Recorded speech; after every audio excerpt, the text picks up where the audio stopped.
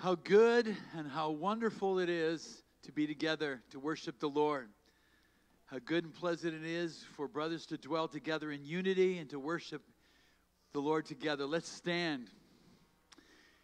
I don't know if you, about you, but I on those that those sunny days last week, I just thought, oh man, this is great. Let's just, let's just keep on going with these sunny days.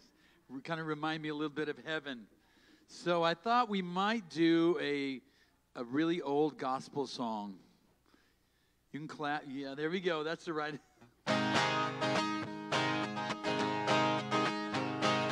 Some glad moment when this life is over, I'll fly away to a home on God's celestial shore.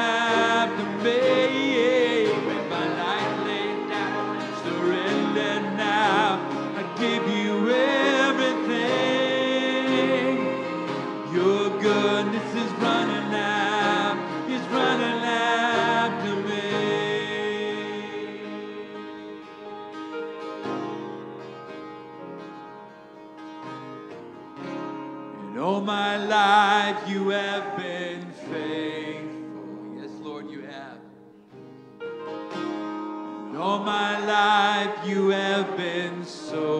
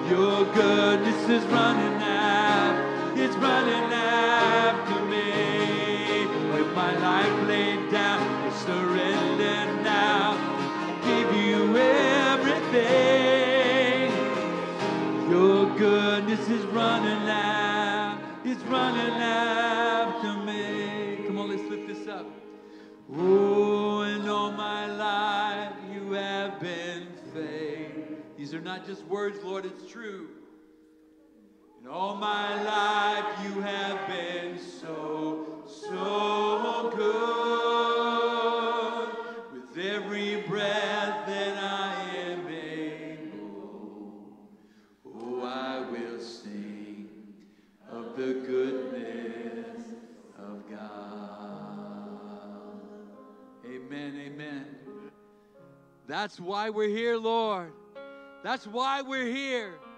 Because your goodness keeps coming after us, coming after us day after day, after hour after hour.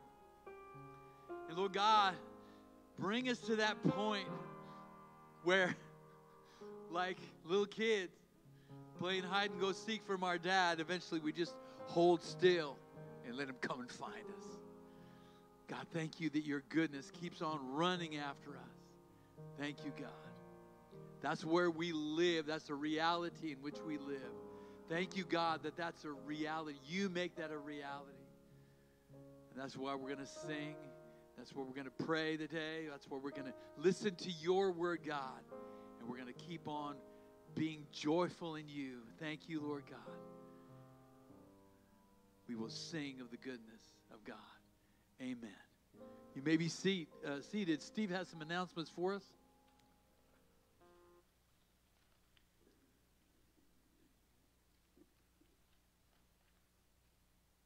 Good morning, everyone, and welcome to Real Hope Community.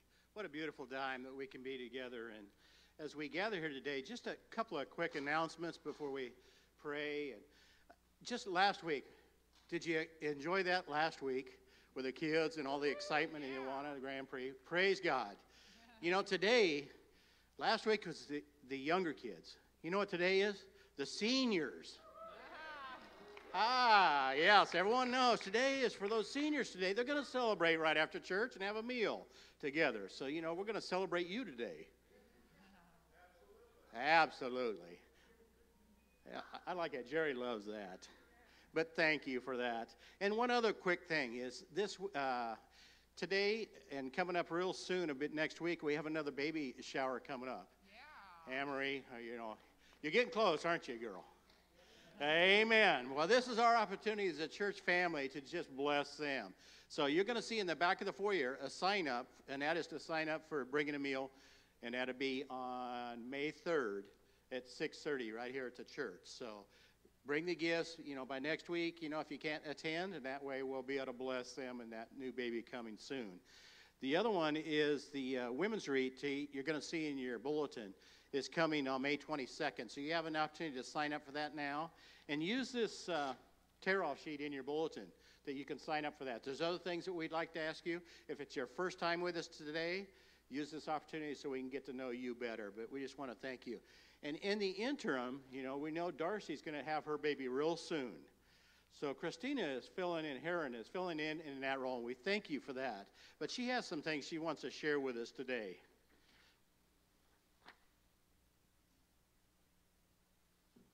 Well, good morning. We did have, oh, wow, awesome. Um, we did have an amazing time uh, in Awana this year. So, kids, if you had an amazing time in Awana, tell your parents. So, did you have an amazing time in Awana? Oh, kids, come on. I know you can do better than that. Did you have an amazing time in Awana this year? Awesome. Well, and we have awesome news is that the children's ministry does not stop with Awana. We want to continue pouring into the lives of the children, not just in this church, but also in the community of Lacey to reach the gospel, to take the gospel outside of the doors of the church to even more children. Uh, this summer, we have a couple of really cool uh, events coming up. Uh, in June, on the 17th, or July 17th, I'm sorry, July 17th, we are having a STEAM camp. It's a one day day camp uh, where they'll hear a awesome story uh, about a scientist, a believer, uh, and then they're going to do some experiments, have a lot of fun. Uh, we are looking for anyone who is interested in helping with that. If you are science focused uh, with a biblical worldview, definitely come talk to me so we can get you plugged into that. Uh, there is a family camp out in July from the 23rd to the 25th. Also, we'll have our five day club, which is an amazing program. I'm not just biased because it's with our organization, but we actually train up teenagers who are walking Christians like DJ and Noah, and they go for training and they actually learn to reach children with the gospel. And if you have never seen the, these teens in action, it's amazing. The kids have a great time. We have a great time. So definitely plug in your kids for that. Um, and we'll need some help with that as well. And then right at the end of that, there's a family movie night outside. Uh, that is August 13th. Uh, these are available, yes? Bob? No, they are not available. Uh, but I thought, I think I saw it on the Facebook page. Yeah. Yeah, so it is on the Facebook page, um, and just watch your announcements. So thank you very much.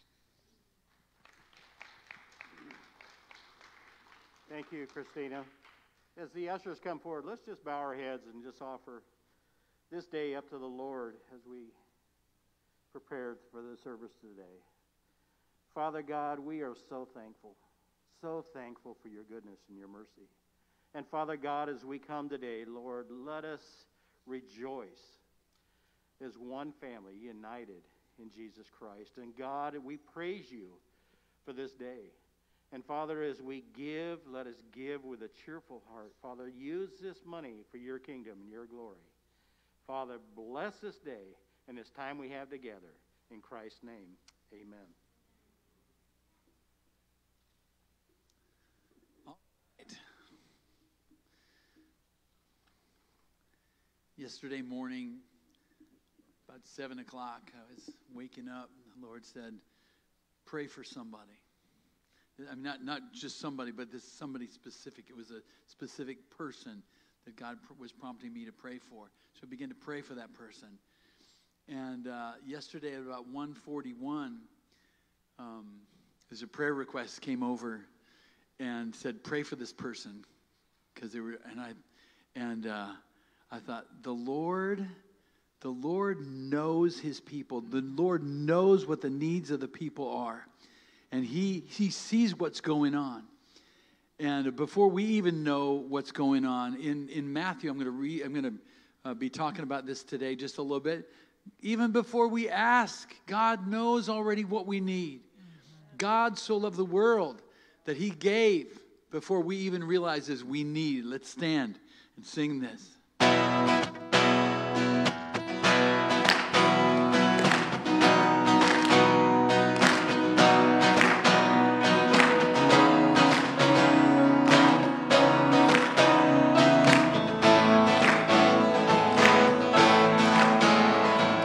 Come, all you weary, Come, all ye thirsty, come to the well that never runs dry. Drink of the water, come and thirst no more. Oh, come, all ye sinners, come find his mercy. Come to the table, he will satisfy. Find what you're looking for.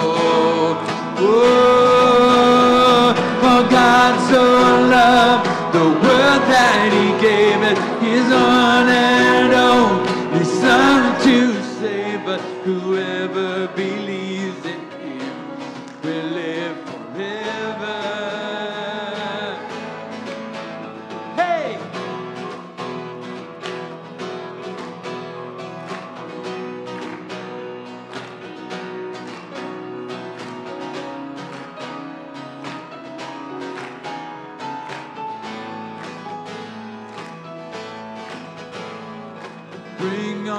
failures, bring your addictions. Come lay them down at the foot of the cross. Jesus is waiting there with open arms. He is open arms, for God so loved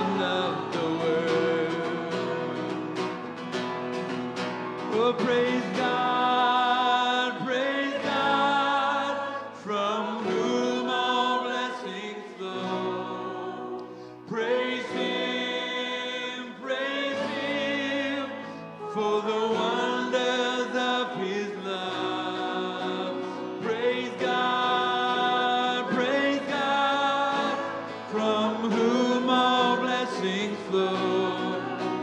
Praise Him, praise Him, for the wonders of His love. Oh, God so come on, the world that He gave us His one and only Son to save. For God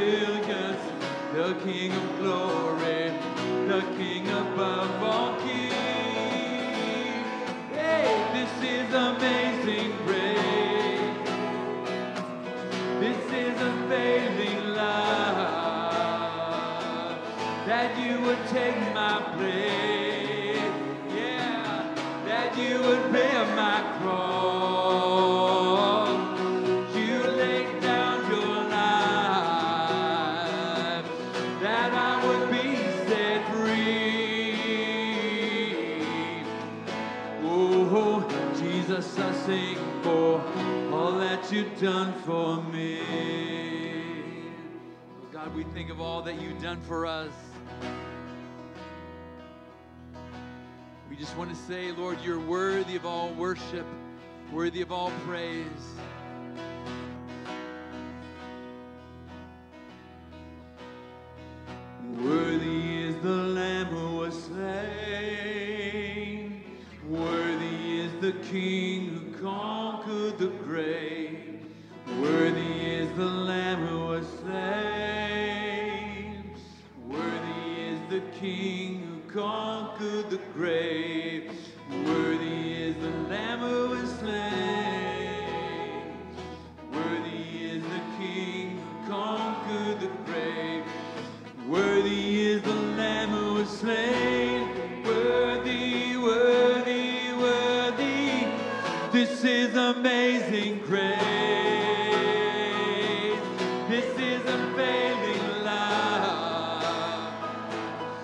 that you would take my pain,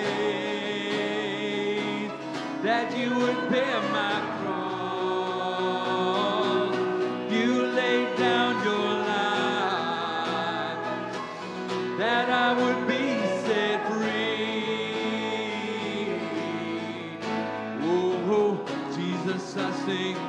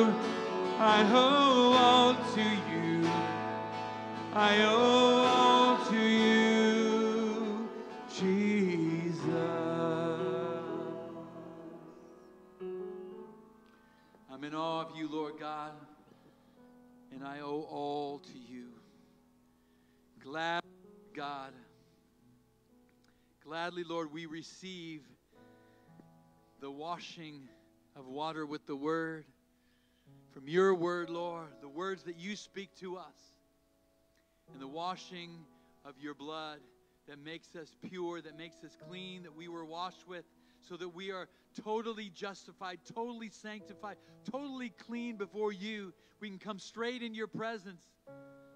We can come straight into the presence of our Heavenly Father, our Father who art in heaven. We pray that, we pray that, but He is he is personal. He's not just a, like a God, a deity up there somewhere hanging out in the clouds. He's right here. He's close to us. He's closer than our brother and our sister. He's closer than any relative. He is with you right now. I just want to invite you, I just want to invite us all to speak His name, Lord God. Heavenly Father, my Father, my King. Yes, speak out His name.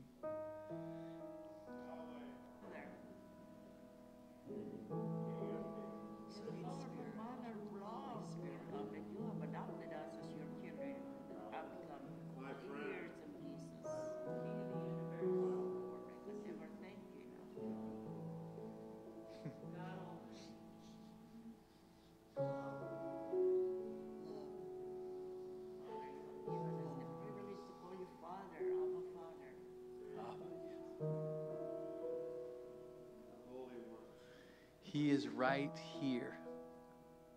It says, He is enthroned on the praises of His people. And you have lifted up the praises and worship this morning, and He has heard you. Come before Him with all your requests.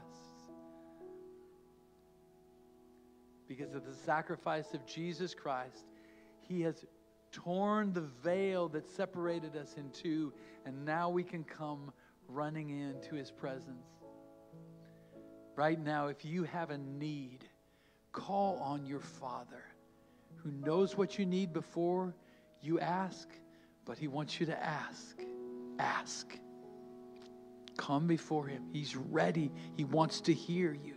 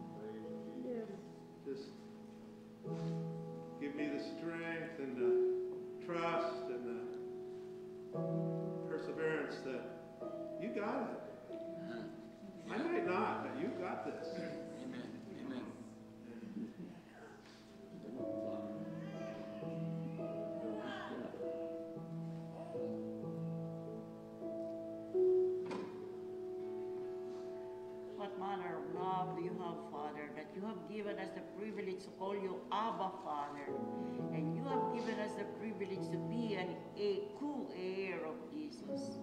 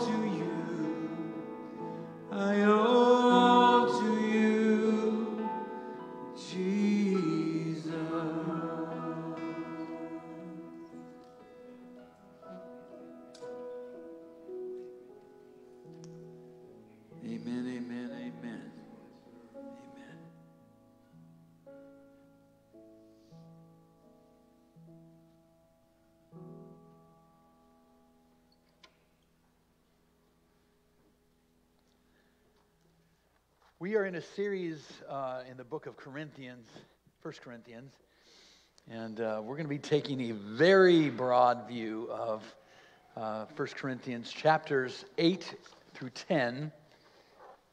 It's not going to be an exhaustive study for sure today, but I just want you to know that it's going to be wide. And um, so let's open our Bibles to First Corinthians chapter 8. Since the late 1800s, just a few years before 1900, actually, archaeologists excavating the city of Corinth discovered the remains of 26 temples dedicated to the worship of various Roman and Egyptian and Greek deities. Some of them, uh, some of these temples featured banquet rooms to accommodate those who would come to dine with the god or goddess of that temple that was assumed to be present there. In her book entitled Ritual Dining in Corinth, doesn't that sound like a fascinating read? Nonetheless, Ritual Dining in Corinth, uh, Assistant Director Emerita of the American School of Classical Studies, Nancy Bookidis, wrote um, regarding one such temple, one of these 26 temples. Quote, at least 14 dining rooms likely existed by the end of the 6th century BCE, accommodating up to 100 people, and a century later, the number had grown to at least 30 rooms with space for 200. So this was a, a, a, something that was very common. It was something that people uh, engaged in, eating with the god, eating with the goddess in these temples. The idea of meals being shared with a god permeated the Corinthian culture and becomes evident in the reading of a typical invitation, one of which says, The God calls you to a banquet, and then it goes on. Another reads, Dine at the table of Lord Serapis, who is a uh, Greek Egyptian god familiar to the Corinthian culture. Uh, in the in, the, in, in uh, 1 Corinthians 10, verse 19, it talks about, you know, when we eat, um, when people ate uh, meat sacrificed to idol, they were, they were thinking about it as if uh, that food was being shared with the idol, with the deity. So there was a relationship, a live relationship with the God. You were dining with the God. So if you lived in Corinth, you might receive one such invitation to dine with one of these gods.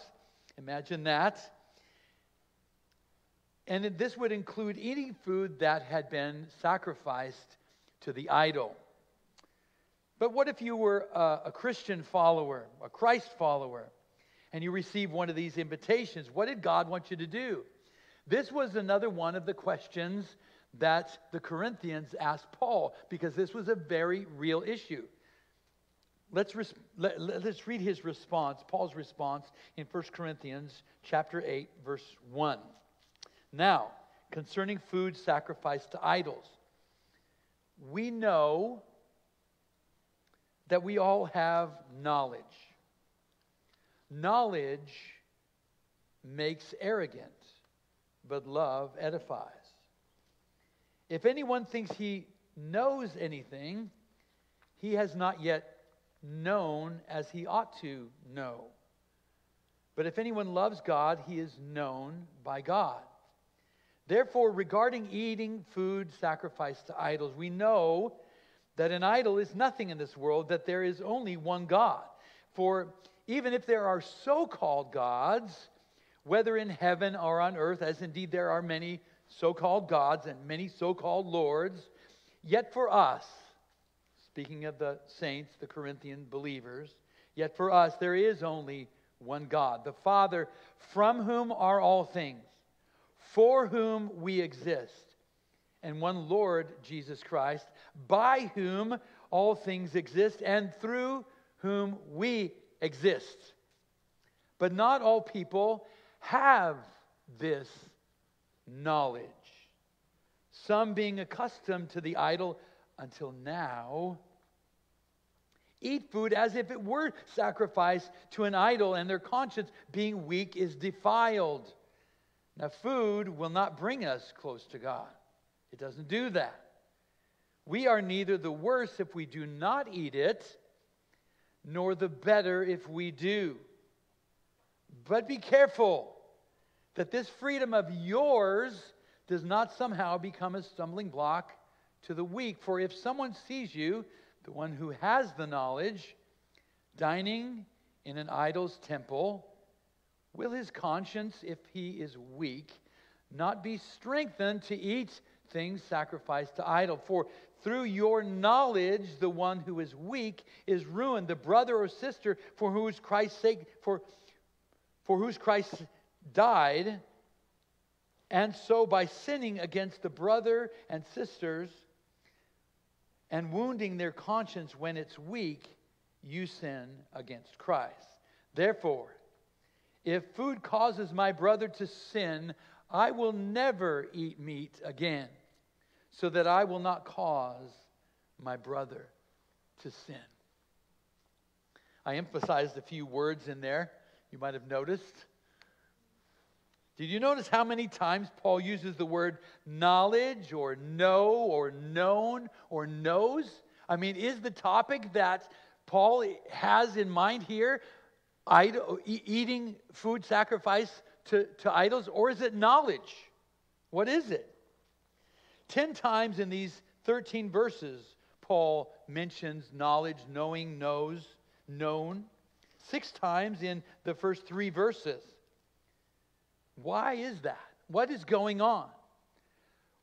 Paul is once again challenging the Corinthians to step out of the culture that they have been marinating in their whole life. Their whole life they have spent in this culture that says what you know is equal to how significant you are.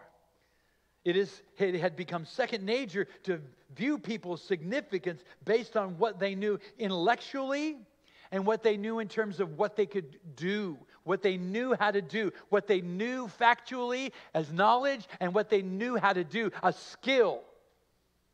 That was what made you significant in Corinth, in the Greek society, in Roman society. And so Paul draws a contrast at the end of verse 1 when he says, Knowledge makes arrogant, but love edifies. Now, that word arrogant, that the, the Greek word, if you were to just read it in Greek, it says, knowledge makes puffed up. It, it makes it, you know, when you go to McDonald's, who likes to go to McDonald's? Yeah. Who likes to go to and get a McDonald's shake? Yeah. Okay, so have you ever noticed that if you hold this shake, this is about the same size as this shake, that this shake that comes from McDonald's is lighter? Do you want to know why? Because they puff it up with air, they pump in air. That, that shake is arrogant. yeah, it's it's you know they you don't get as much. They go like, yeah, we're gonna put this much in, and they're gonna uh, like that, make them think they're getting more. Yeah, when you're arrogant, you think you are more. You think you more, and so you, you're more than you are. It's like this much, and then they, you know. Paul says knowledge has the potential to make us think more about ourselves and less about others. But love, real love, is always looking for ways to lift others up, not lift yourself up. Arrogance lifts yourself up, but love lifts others up. There will be times when you and I notice that our fellow believer struggles in an area that we don't struggle with. Don't, I don't struggle with that. We've worked it through in our mind, we, and we know, there's that word, and we know how to navigate that particular issue. Or it's just not, it's never been a temptation for us. You know, there are things that you're like, I'm not tempted by that at all. And other people are crazy tempted by it, right? So that, that, that's the situation. But it's a very real struggle for our brother or our sister. And we can choose to be arrogant in those situations or be edifying. And I think that's kind of part of the essence of what Paul is talking about. That when we know certain things about idol worship, that we know that there's no such thing as a God, that the, the deity is not real, you know, there, and we've kind of worked it through in our mind and go like, it's not real. But then our brother, who until now, remember those words? Who is used to, uh, what does it say in verse um, 7? but not all people have this knowledge, some being accustomed to the idol until now. Who would that be describing?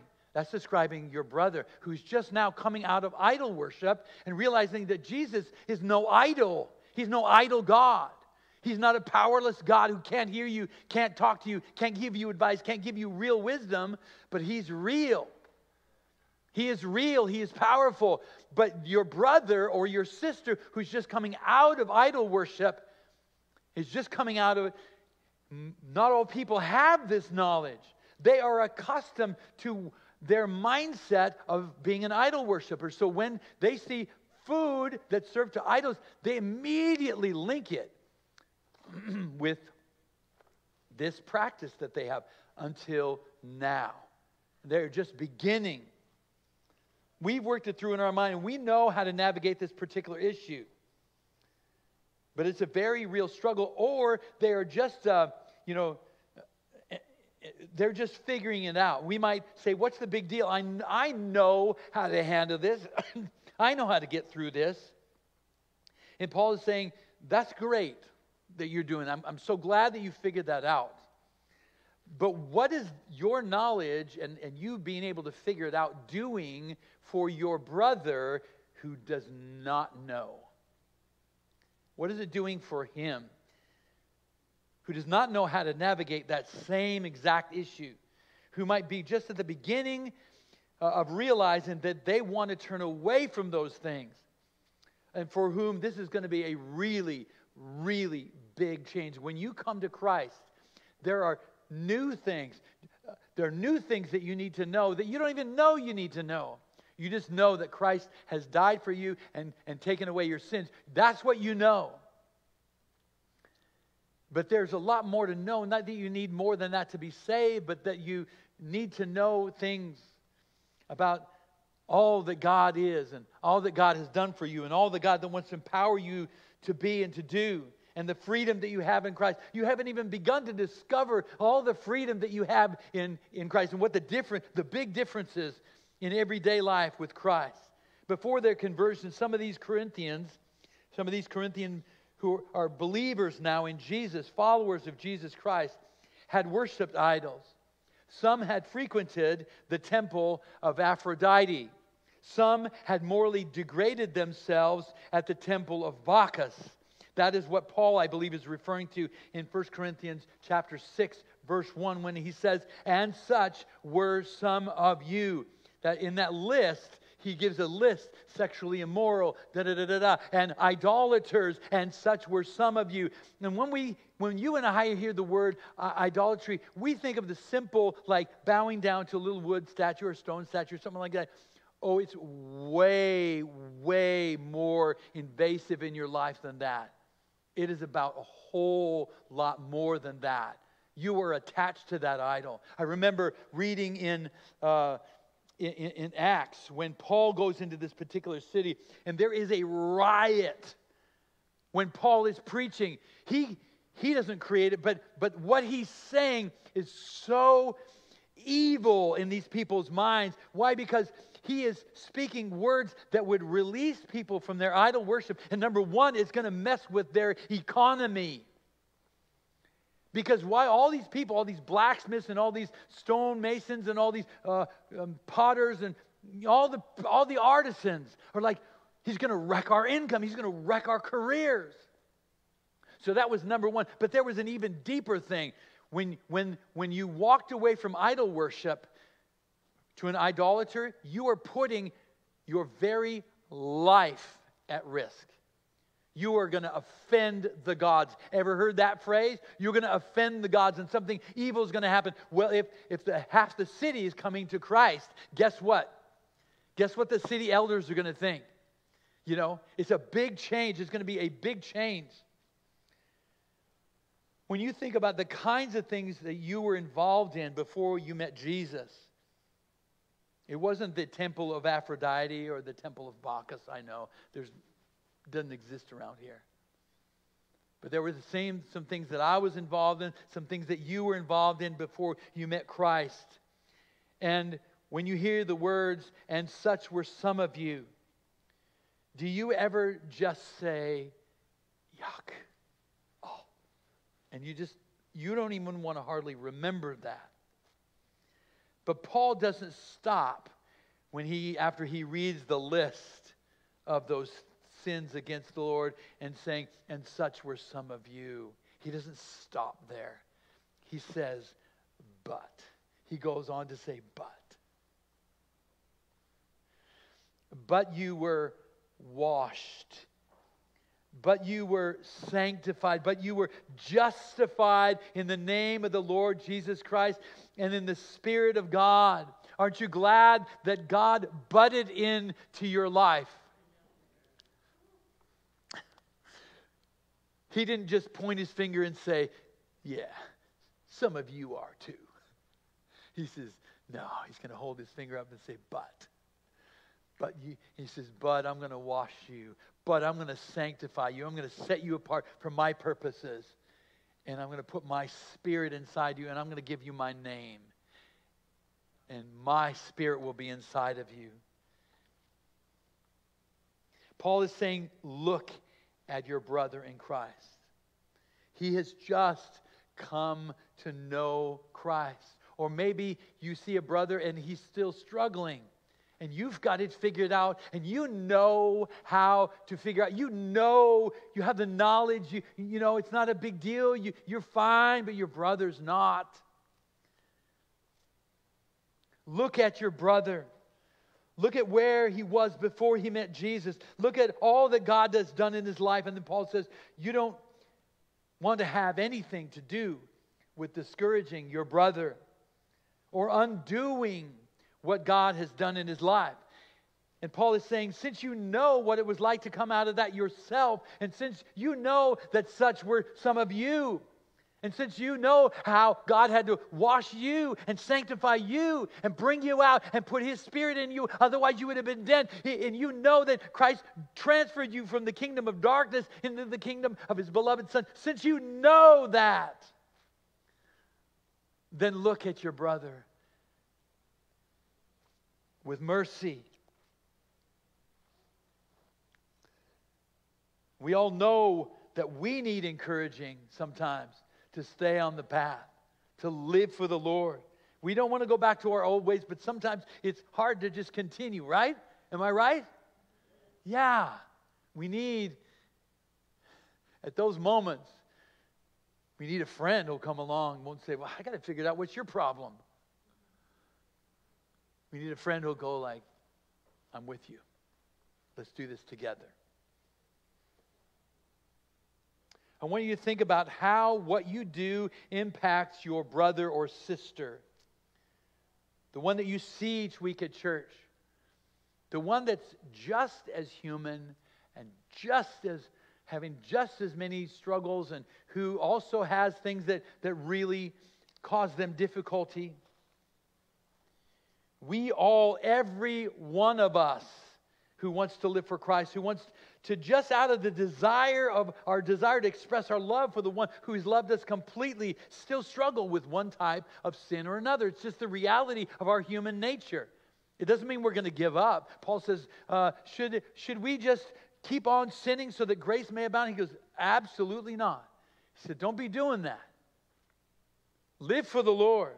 But we all struggle with one type of, of sin or another, so we're not looking for anyone's help to mess up or get us off on the path, uh, off of the path. And Paul gives us three situational applications uh, so that we don't mess it up for our brothers. Uh, so he, well, actually, this is more applicational for the Corinthians. He said there are three things, Corinthians, that I want you to, to think about that are situations that you can just, you know, they're sort of like, I, I just want to give you these situations and help you figure this out.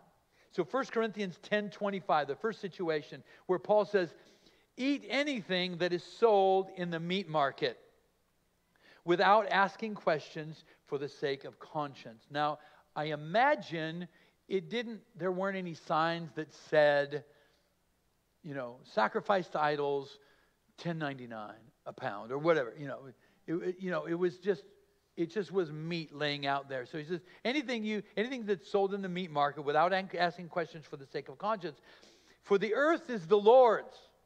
It's just, and, and Paul says, just meat. It's not special meat. It's not, it, the, the meat doesn't change when you get sacrificed to idols. It's not any different. It's just meat. And by the way, the God made, God made the cow. And so it's the same cow. Whether it's on your table or on the, in the meat market, it's, it's, uh, it's the same cow. It's, the earth is the Lord. The cow is the Lord. And everything it contains, and Paul's saying, just go ahead and buy the food and don't ask questions. And the second situation is in verse 27, where Paul says, If an unbeliever invites you and you want to go, eat anything that is set before you without asking questions for conscience sake. But the third situation in verse 28, where Paul says, But, but if anyone says to you, This meat is sacrificed to idols, don't eat it. Because there's there's questions around. There's a reason somebody says, well, when somebody says, hey, do you, do you know? Instead of, you know, just reacting to say, well, I suppose there's a reason why you said that. But we don't really have to even ask that. We, we know already that there's a reason why people are saying that. This is meat sacrificed to idols. Do not eat it for the sake of the one who has informed you. And I'm going to give a few more examples. So, as a believer, if your Corinthian coworker invited you to go out to lunch and saying, "Hey, you want to go to Corinthian in a box, or do you want to go to McDeities?" And you know the menu options at McDeities. It's Big Zeus combo meal, or the Garden of Venus salad, or the six-piece McNike Happy Meal. And so you're going like, it's obvious they have labeled the food and said, This food has been sacrificed to idols. So what are you going to do? Hey, let's go to Corinthian in a box. I think we should do that. Or, uh, you know, what, Corinthian fried chicken. I don't know, whatever, whatever you like. They're kind of making a big deal about they, the, the fact that they have sacrificed this meat to idols. And so Paul is, is the third, third situation sort of applies, where Paul says, But if anyone says to you, This meat is sacrificed to idols, don't eat it. Paul goes on, uh, Paul says, uh, pardon me, uh, you see in the first two, two situations, Paul is saying, when no one mentions anything about the food being sacrificed to idol, just buy it, eat it, enjoy it without even thinking about it, because the earth is the Lord's and the fullness thereof. But if somebody points it out, like in the third situation, don't eat it because you are in, in you eating it may cause someone else to stumble, including your brother. Or it also might cause them to question your integrity. I'm, I'm just, I'm pretty conscious of the fact that, that people who don't um, know Jesus, don't really, you know, care to know Jesus, like holding Christians accountable.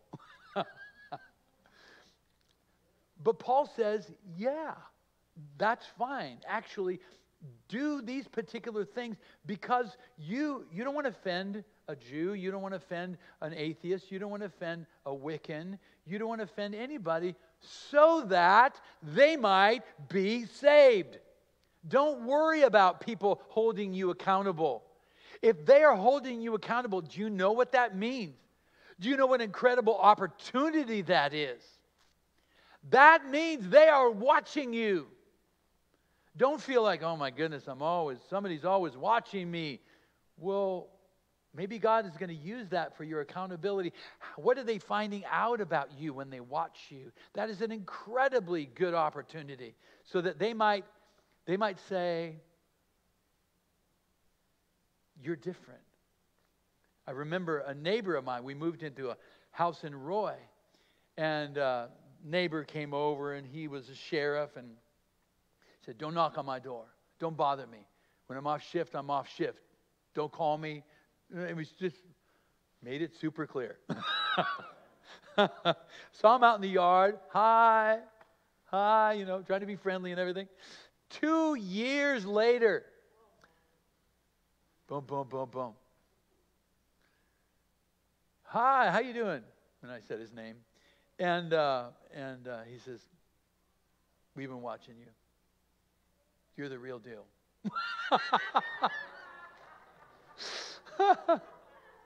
I'm going like, whew.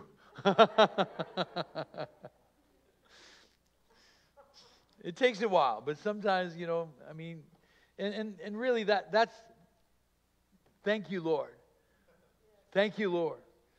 Because He needs to work in my life.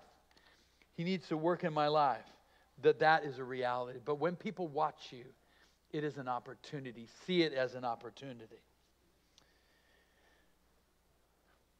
We don't want anything we do to cause our brother to struggle or stumble, or sister to struggle or stumble. We don't want to tempt them back to their old lifestyle, even temporarily. So Paul reminded us, re- re- recommends these, you know, these, these three things. But what about in our life? The question in that person's mind might be, have, have, you know, if somebody saw this Corinthian uh, eating food sacrificed, they might say, huh, has this person like left the faith? Uh, Do they no longer, uh, are are they no longer a, a Christ follower? Are they, are they now, a, a, a, you know, going back to the, to the gods? Maybe they say they worship Jesus, but they really believe in the gods. Yeah, they really believe in the gods. There's so many questions that can come up, but you just don't want to leave that question on the table. You want to leave the meat on the table in that case. Paul is very clear in chapter 10. I want to make this clear. Verse 7, chapter 10, verse 7, it says, Do not be idolaters. And, uh, you know, you might suppose that I would say that, but I want to make it clear. In verse 14, he says, Flee idolatry. You know, when you um, are in a burning house and you want to get out, you do what? You flee. And that's what that's the that's the Greek verb that is described here. Flee idolatry. Run away. So Paul is saying, you know, go ahead and eat meat sacrificed to idols, but don't get involved in idolatry. That that two separate, totally separate issues, and for two totally separate reasons. There might be things that you have been involved in before you came to Christ, and you want to stay away from those things that are a struggle from time to time that you want to that you would deeply appreciate. I just want you to think about this. There are some things that you have struggled with, maybe you still struggle with, and that you would just deeply appreciate the people around you to show some consideration and some understanding and thoughtfulness in the way they dress. Are you hearing me? Okay. Are you hearing me? Good. I'm going to say it one more time. There might be some things that you have struggled with in the past or that you have you continue to struggle with and you just want some consideration and understanding and some thoughtfulness put into the way and the clothes you, you choose, the dress you, you, you have. And I'm not trying to be legalistic. Please, I'm not prescribing anything like that. I'm just saying put some thought into that. I'm not saying what it should be or how it should be. I'm just saying think about it. Think about how what you do affects other people.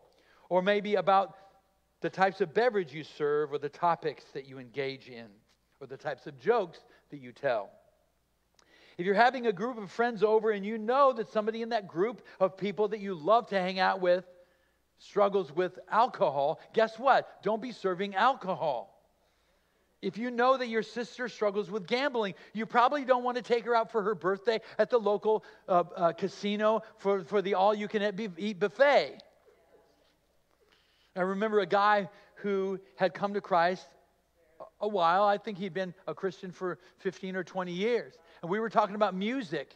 And I was saying, Oh, yeah, I like this song, like this song, you know. And, and he goes, like, he stops and I go, You know. And he says, Yeah, I, I, can't, I can't listen to that song. I go, Why not? He goes, Well, I grew up in the hippie movement, and I was, that song I associate with certain things I was doing at that time of my life. And Christ brought me out of that, and I, it just, it has such a strong pull on me. Music can have that kind of effect. So we just never played that song. And it was fine. I did that for my brother, and he really appreciated that. But simple things. But, you know, just getting to know him helped me figure that out.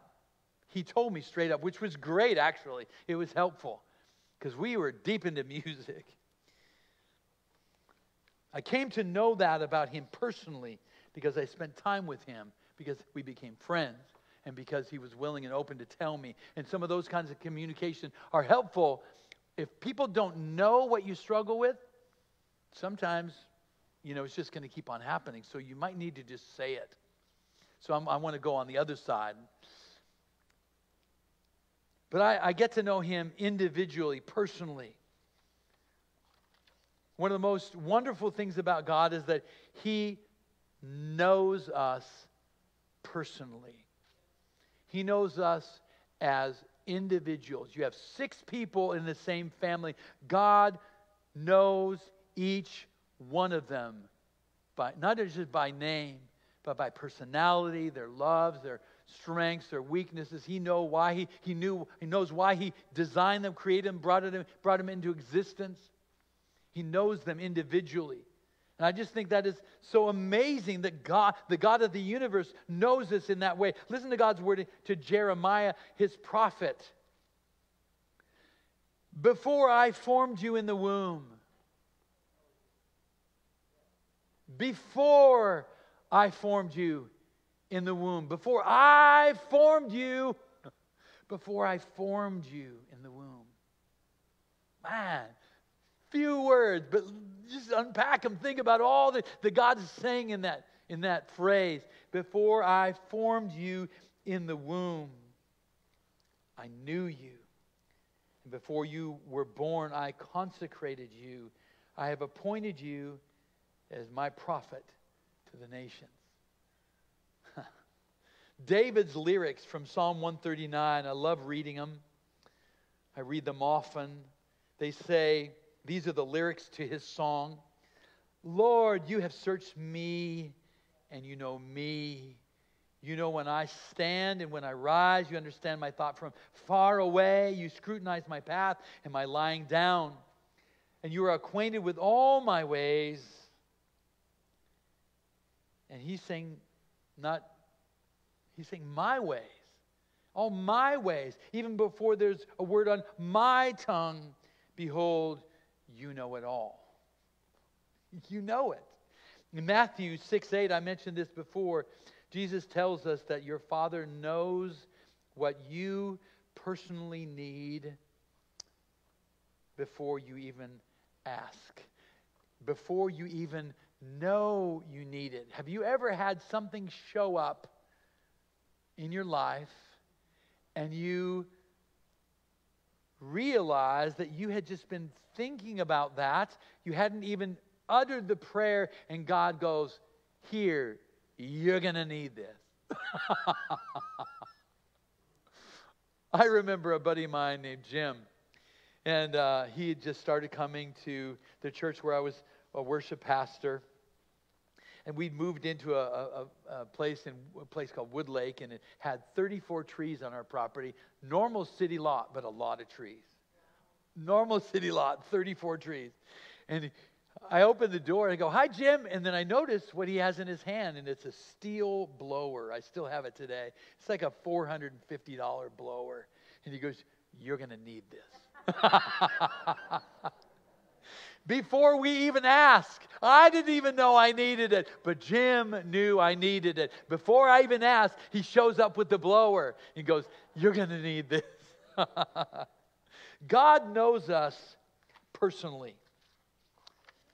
And um, Paul is kind of challenging us in, in, in a, in, in kind of a subtle way to say, Get to know your brother. Get to know his strengths like God gets to know, God knows his strengths. Get to know what his needs are.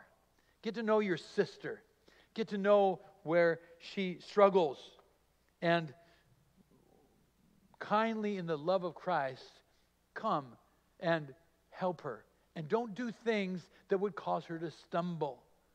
For, for the Corinthians, it was like idol worship. That was the big issue. I don't think there is a, the same kind of idol. There's idol worship, of course. We can extrapolate that into an, uh, you know, some other analogy. But, but there are other things that we struggle with in our society. Get to know your brother. Get to know your sister. And um, be that be that brother or sister who is like not going to be about doing things that make them struggle, but to do things that edify them. Amen? Let us stand. This is a brother sister song we're going to sing. We kind of need drums on this, though.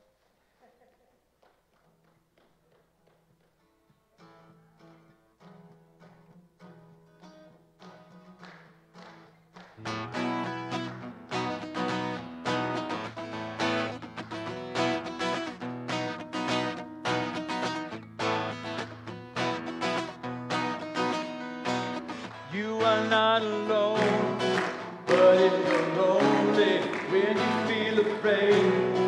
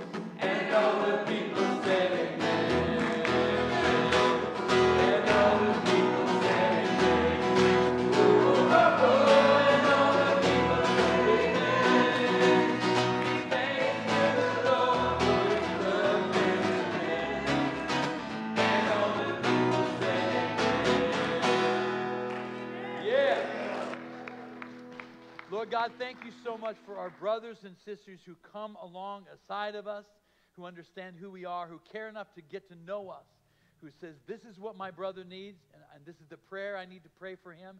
This is the encouragement I need to give him. This is the challenge I need to give him. And help us to do that for each other. In Jesus' name, amen. Amen. God bless you.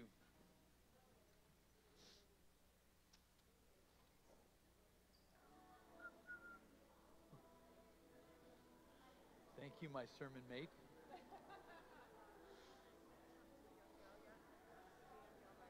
Um, hey, babe, did you talk to the young gal? You, you did, right? You're going to go talk here. I'll take care of your mic.